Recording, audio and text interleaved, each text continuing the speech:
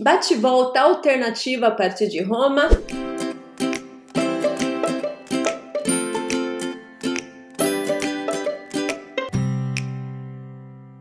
Bom dia! E hoje o nosso vídeo vai ser aquela dica de morador lá em Roma. Carol vai dar uma dica imperdível para vocês que estão passando por Roma, para vocês que vão estar alguns dias em Roma e querem fazer um passeio diferente. Ela vai mostrar para vocês uma das localidades onde geralmente os romanos que moram em Roma pegam e vão fazer o passeio de final de semana para irem no mar. Então, se vocês estão em Roma e querem curtir um pouquinho uma praia para descansarem, sigam a dica da Carol. Antes de passar a bola para Carol, Carol aqui, eu convido vocês a se inscreverem no nosso canal YouTube, vocês que estão planejando viagem para a Itália, Ana Patrícia é formada em turismo, então Ana Patrícia fala sobre turismo. E para vocês que são simplesmente apaixonados pela Itália, que querem saber mais sobre cidadania italiana, comunicação, cultura, arte, tudo que se refere sobre a Itália vocês vão encontrar justamente aqui. Então, se vocês são apaixonados pela Itália, não esqueçam. Sininho, clica no sininho para receber as nossas notificações. Agora, Carol, com você, minha querida. Olá, pessoal, tudo bem? Eu sou a Carolina, eu moro em Roma há dois anos. Sou formada em Direito no Brasil, aqui eu trabalho como tradutora. Esse ano eu fiz o pedido de equivalência do meu diploma, então também vou voltar a ser estudante. E eu tô adorando fazer esses vídeos com a Ana Patrícia, mostrar um pouquinho da Itália para vocês através dos nossos olhos, brasileiros que moramos aqui. E eu sou apaixonada por esse lugar também. Hoje eu vou levar vocês para conhecer Santa Severa, uma cidade que está no comune de Santa Marinella, uma cidade balneária, muito pequenininha, mas com uma praia deliciosa. Então vamos fazer o que eles chamam de dita fora e porta, que é o nosso bate-volta. Aproveitando que finalmente está chegando o verão, calor, sol, e é um lugar que vale a pena conhecer quando vocês vierem aqui. Vamos lá?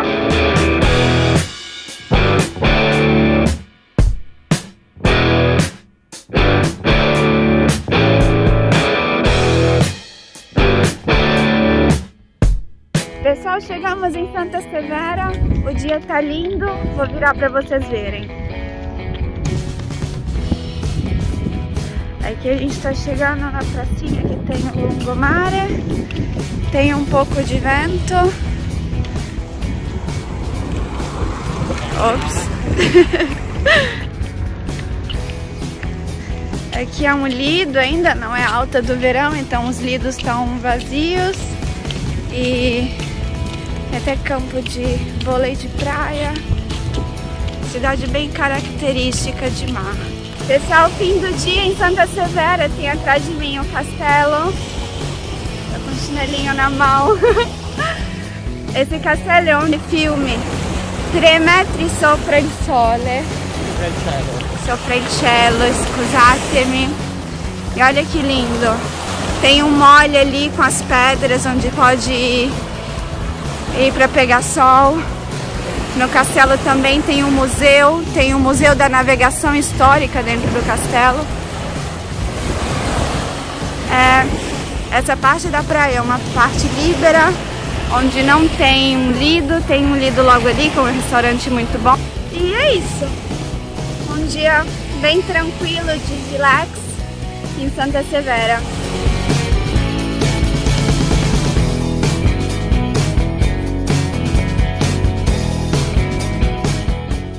É isso aí, meus amores. Como vocês perceberam, existem várias alternativas de passeios que são totalmente fora do clássico e o objetivo dessa minissérie é esse: mostrar para vocês apaixonados pela Itália, não somente aquela Itália clássica, mas também a Itália do morador, a Itália do italiano. Agora, antes de terminar nosso vídeo, deixa um comentário aqui embaixo, não, nos dê um feedback, vocês estão gostando desses vídeos? O que, que vocês gostariam de saber mais especificamente sobre a Itália?